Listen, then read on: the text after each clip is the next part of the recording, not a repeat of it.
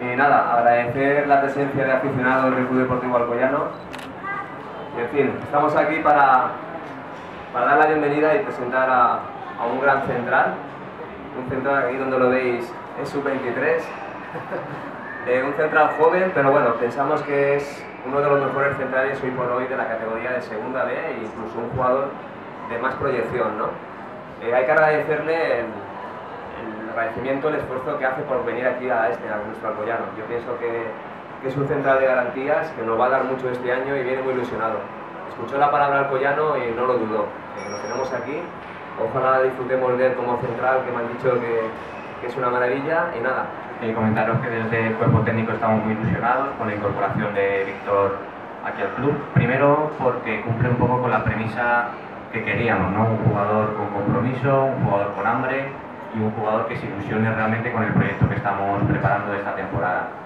Y después, obviamente, por sus propias cualidades, ¿no? Es un jugador con, con una buena trayectoria, estamos hablando que ya ha debutado en segunda división, ha jugado 6-7 partidos en segunda A, ha jugado en grandes filiales como el Real Valladolid, como el Atlético de Madrid B, ha sido internacional en categorías inferiores, tanto en la sub-17, sub-18, sub-19, incluso estuvo a punto de ir a un mundial eh, juvenil, pero al final en el último momento no pudo, no pudo asistir y estamos muy contentos desde luego que se incorpore con nosotros. ¿no?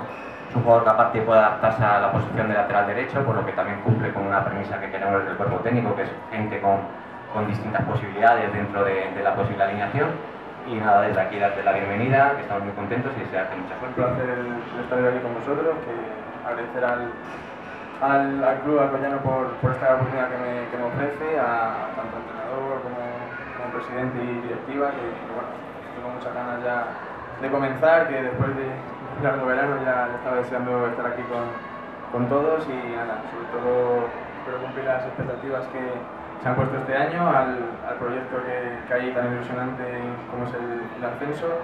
Y nada, yo intentar ayudar, eh, aportar lo máximo, lo máximo para, para, el club y nada, sobre todo daros las gracias por, por este recibimiento y que nada, espero veros, espero veros pronto. Sí, bueno, en, en el Atlético Madrid tuve, tuve a Raúl, he podido, he podido hablar con él, hablado maravillas, también tenía a un conocido se llama David, que también me ha, visto en Madrid, me ha dado muchos informes y bueno, al final el club, el club lo conocía por, por mi etapa en el Valladolid, que estuvo coincidido con nosotros en segunda.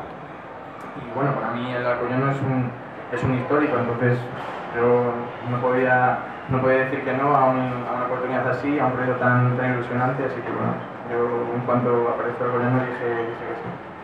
¿Te lo tomas como una especie de trampolín a nivel personal? ¿Te gustaría incluso escalar peldaños con el, con el Alcoyano? Sí, sí, por supuesto, me encantaría eh, hacer con, con Alcoyano, continuar todos juntos y que, bueno, aparte de, los méritos individuales, que sea sobre todo el colectivo. Sí, bueno, he jugado tanto de central como, como de lateral, a mí me gusta tratar bien a la pelota, me, gusta, jugar al fútbol, aparte de, que, bueno, yo me considero un jugador eso, que, que gusta tratar bien la pelota, aparte de que soy, soy defensa y evidentemente la contundencia en, en defensa es primordial, pero bueno, aparte de eso, pues oye, me gustaría pues, el poder aportar al, equipo juego. Mm, en verdad, en, la talla, como siempre suelo decir, o sea, suelen etiquetar que si altos y bajos, al final cada uno, si a lo mejor uno es alto, a lo mejor el bajo puede saltar más que el alto, o sea, al final esto son, son estadísticas. Pues en los últimos dos años no, no es que haya metido sí que es verdad que en mis anteriores etapas sí que he metido más goles.